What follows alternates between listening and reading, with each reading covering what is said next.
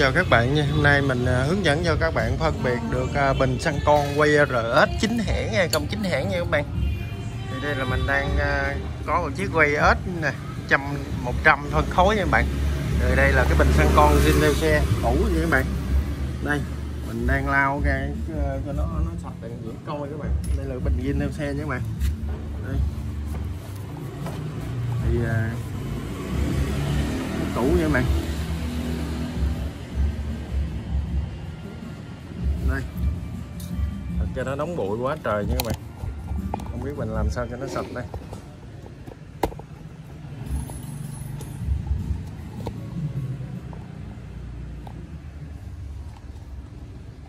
Để mình xịt ga sơ cho nó sạch cái như các bạn.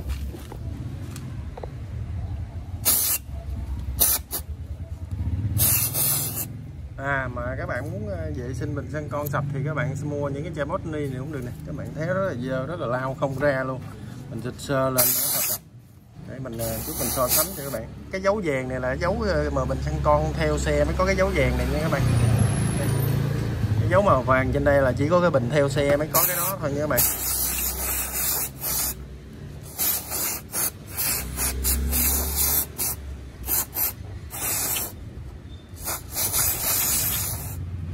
Đây nè. Mình đã sạch sạch rồi nè.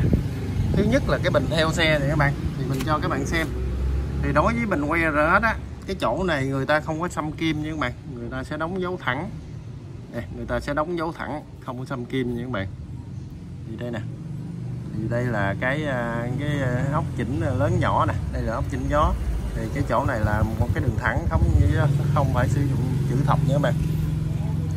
Và cái này nè cái van cắt gió nó sẽ lệch màu so với cái màu nhôm các bạn. Nó sẽ là cái màu hơi đen đen nè. Hơi nâu nâu nè. Hay so với cái màu nhôm. Đây mình có nhập một lô hàng của Thái Lan gì các bạn. Mình sang con Thái Lan. Cho các bạn xem nè. Đây là một cái lô hàng mình nhập mình của Thái Lan gì nha các bạn. Thái Lan gì thì mình cũng bóc ra cho các bạn xem. Thì à, mình thì không quan tâm tới cái bao bì. Nhiều khi cái bao ngoài người ta đóng sao cũng được vậy. Nhiều khi hộp này hộp kia nha các bạn đây là một cái bình của Thái Lan nha các bạn. Mình à, mình thấy là chính hãng của Canh Hiệp. Chính hãng của Honda thì người ta sẽ đóng mặt Honda lên.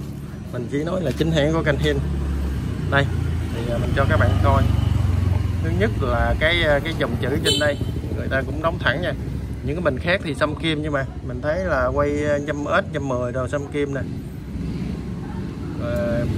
Cái van cắt gió các bạn thấy lệch màu không? Cái màu nó sẽ lệch màu sơ màu nhôm và đặc điểm là mấy con ốc này thì con ốc này là màu trắng nha các bạn. Ốc ít rồi màu trắng hết. Cái dây này, đặc biệt cái dây rất là dẻo nha các bạn. Dẻo, rất là dẻo. Rất là dẻo. Thì đây nè, các bạn xem này còn đặc biệt á, mình còn hướng dẫn cho các bạn á, xem có cái này là đặc điểm đặc biệt nhất nha các bạn. Đây nè. Đây, những cái bình mà có hai con mắt như thế này đây là mình gọi là hai con mắt mắt trên, mắt dưới đi thì các bạn á những cái bình xịn á ngay chỗ này nè. Cái chỗ này sẽ có dấu gạch ngang nha bạn. Các bạn về để ý đi. Những cái mình mua những cái bình lô á bình nhái là ngay chỗ này không có dấu gạch ngang nha. Bạn phóng mình phóng to lên kỹ á mấy bạn thấy có dấu gạch ngang không? Giống như cái dấu mà đóng khóa lại nè đây đây nè. Thì các bạn đó là một cái bình mình nhận diện. Được bình xịn hay bình dẫm còn cái nước sơn vàng á là bình ghép ờ, trên xe á, thì mới có nước sơn vàng như này nước sơn vàng này nha các bạn. Cái bình mà gắp trên xe á, theo xe á, thì mới có nước sơn vàng. Còn cái bình mà thái á, thì nó không có nước sơn vàng đó nha các bạn. Trên cái co xăng thì vẫn có mã số đầy đủ. Đây. Trên co xăng này các bạn. Vẫn có mã số đầy đủ nha các bạn. Thì bên kia mình làm biến mở cánh bẩn bên kia để cho các bạn xem. Đây nè cái màu nhôm, cái đây nó sẽ lệch màu so với màu kia. Thì mình, cái này là cũ rồi nha. Mình không quay sát cho các bạn xem. Các bạn lúc nào cũng thấy nè, nó lệch màu. Nó, hai cái màu nó khác nhau nha. Đó, cái màu này lúc nào nó cũng tối màu hơn so với nước nhôm. Thì à, các bạn qua cái clip này nè. Các bạn phân biệt. Thí dụ mình mà không gành đó các bạn mình để ý, mình nghiên cứu rất là kỹ rồi. Mà không cần các bạn nhìn vô. Ai nói bình xịn, mình chở mà nhìn vô chỗ này cho mình trước mắt. Không có chứ dấu gạch ngang thì à, mình coi như mình bỏ qua luôn nha các bạn. Còn bình mà điểu luôn á, là ốc này màu vàng nha các bạn. Nhiều khi người ta nháy tới là ốc này giống màu trắng. Cái dấu này không có. Đó. còn trái ga này.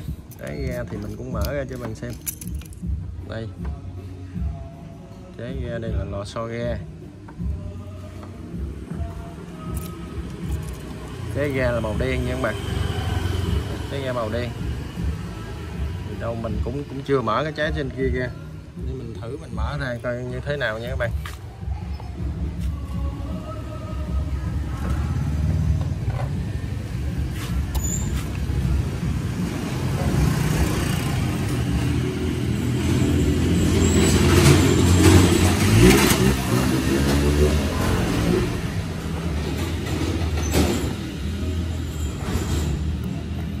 Mình cũng hướng dẫn cho bạn để các bạn biết. Bình dởm mình xịn đây. Đây, cái ghe này lâu ngày quá nha bạn cái ghe màu đen này. Trong đây thì nó có à, trong đây thì nó có mã số nè các bạn. Mã số gì đó, mình không biết.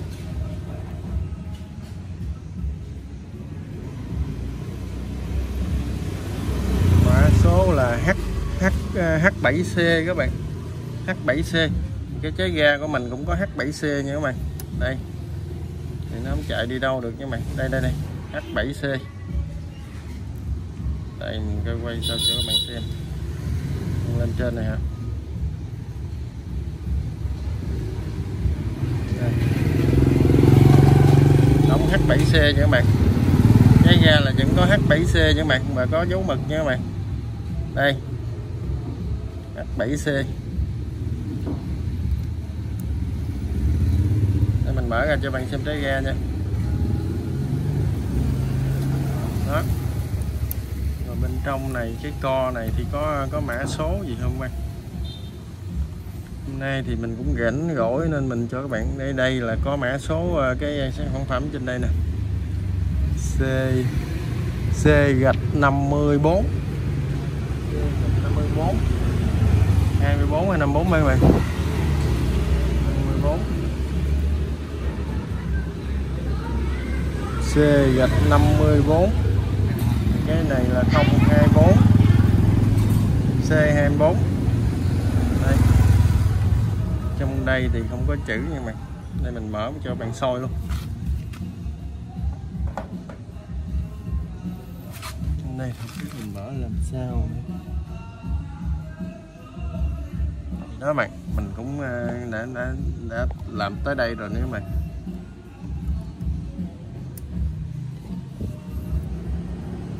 so cho các bạn xem luôn á.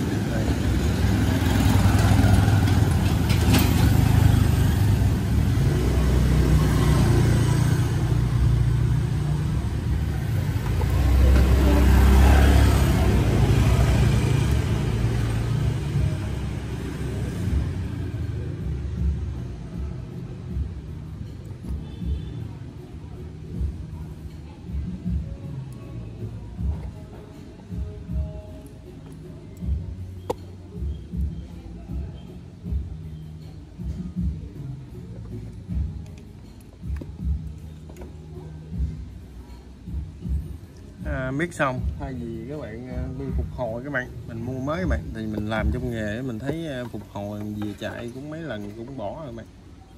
Khi tốn tiền phục hồi. Mình thay một cái cho nó nó chắc các bạn.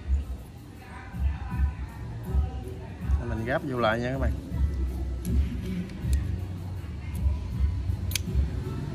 Mình sôi tới đây luôn rồi các bạn.